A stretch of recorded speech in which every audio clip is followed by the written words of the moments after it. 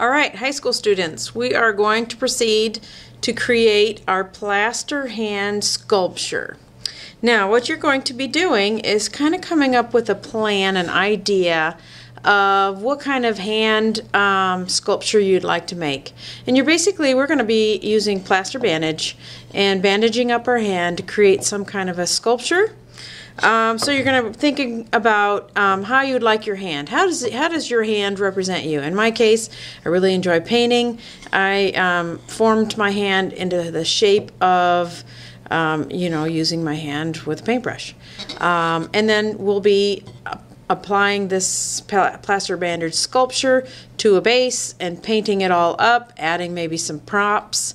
Um, be thinking creatively on ideas uh, that would um, create this so that it represents you.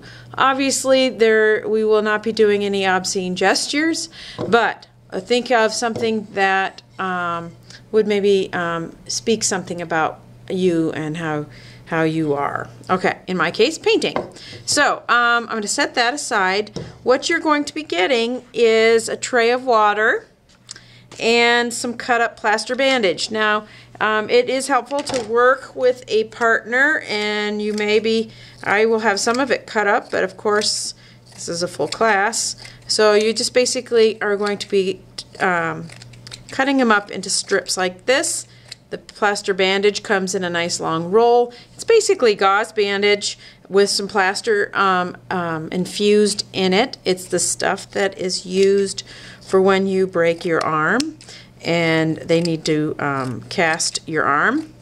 Um, it is now an art supply. So basically cut it up. You may also be needing to cut them up into even smaller pieces. When you're trying to work around fingers and small areas, you want small pieces. Now, like I said, we will be working together with a partner. Um, you can, I did my own hand here um, by myself, but um, it does help if you've have if um, you've got somebody uh, in your corner working together. You help them, they help you. All right, so um, and I am uh, a, kind of a hairless person, so I this is not going to be a problem. But if you are somebody who is a little bit hairy, uh, on your arms, I would suggest using just a little bit of Vaseline or lotion on your arm so that when we pull this off, it doesn't quite pull off all your hair.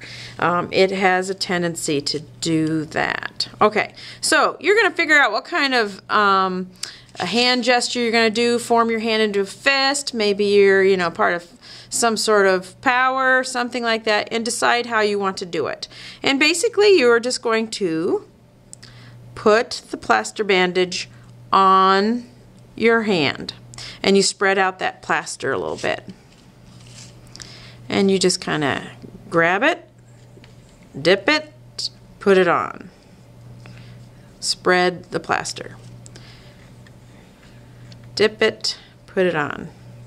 Now I have find you do have to dip it and don't leave it in there because it does kind of lose some of its plaster and its, its um, plasterness if you just let it sit in the water. So just dip it right before you apply it. And you're going to be spreading this all over your hand in the form that you want. Now, you cannot completely cover your hand all together. Um, you do have to create this, and if you can see my example here, I have my hand in that position that I had before. I left open a whole space here of um, plaster. Okay, this is my escape route. Um, basically, you can do most of your hand, leave a full area open. Okay, and then you can come back after you've taken it off your hand. Basically, you're going to be sitting here with your hand plastered and just, I would say probably 20, 30 minutes is good. It will be nice and hard and you don't want to take it off too soon because it does kind of lose its shape if it's still soft. Um, but you're going to have to sit here and wait a little while so plan that out as we have our block schedule, um, how much time you have.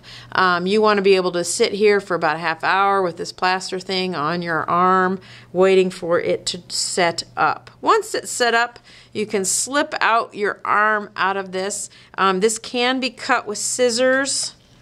So that you can get out a little bit more. Maybe you didn't leave enough escape hatch. Now this has been um, set apart. Now I can do a couple of things here. Um, I can dip and basically start to close that up again. Um, in this case, I may decide I'm going to make a piece like right here in the same shape there and just kind of hold it and decide, okay, I've got this piece here. Now once it's all dry, I'm going to stick it right in here. Or another option is, is to kind of create a kind of a patch. It kind of depends on if you're going to see it or not. Okay, and join that together. Okay, that's pretty much what I did here on this one. Is I uh, made a, a, separate piece and then attached them together um, with the plaster bandage. Okay, like in here. So we're going to add plaster bandage, spread out that plaster. That's what's the good stuff there. kind of smooth it out. Once you're all done, you can set it over there to dry and set up. We'll get some bases going. We'll glue it to the base and then we'll apply some acrylic paint to it to finish it up. Now, if you have something, I know I have had other students create, let's say you're really into, one girl was really into volleyball, she made her hand in this way, and then she took a basketball and coated it with um, like some Vaseline and then created around the basketball, at least part, part of the basketball or part of the volleyball, some of this plaster bandage. Created that so she had her hand palming the ball um, and it was very nice, interesting effect. You can look at some of my examples. I'll be showing some of those in class today and to begin to get your ideas. All right.